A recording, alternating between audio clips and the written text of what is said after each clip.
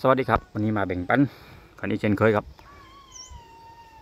เพื่อนๆหลายๆฐานอาจจะรู้นะแล้วก็อีกหลายฐานก็อาจจะไม่รู้นะครับทุเรียนอดอกบาน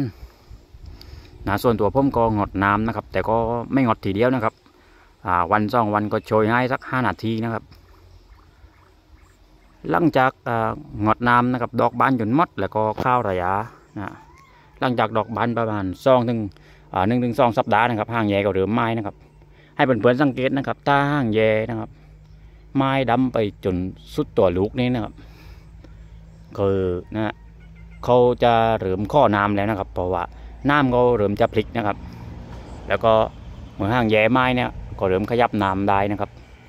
ขยับไม่ต้องหมากนะครับให้จักห้านาทีนะครับวันที่สองวันที่สามก็สิบนาทีอะไรประมาณนี้นะครับโชยไปเรื่อยๆนะครับแล้วก็ ค่อยๆเพิ่มระดับน้ำขึ้นไปให้สูงนะครับ อย่าไปใช้การอัดน้ำนะครับ จะทำให้ห้างแย่หลวงได้ครับเลี้ยงน้ำไปเรื่อยๆนะครับ แล้วสังเกตทุกวันนะครับว่าน้ำเขาเนี้ยจะพลิกน้ำก็จะพลิกหรือก็จะขยายอย่างเร็วเลยนะครับพอได้น้ำก็ไปเทียนนิดนิดนะครับคอยปรับน้ำขึ้นไปนะครับ แล้วลูกก็จะติดดี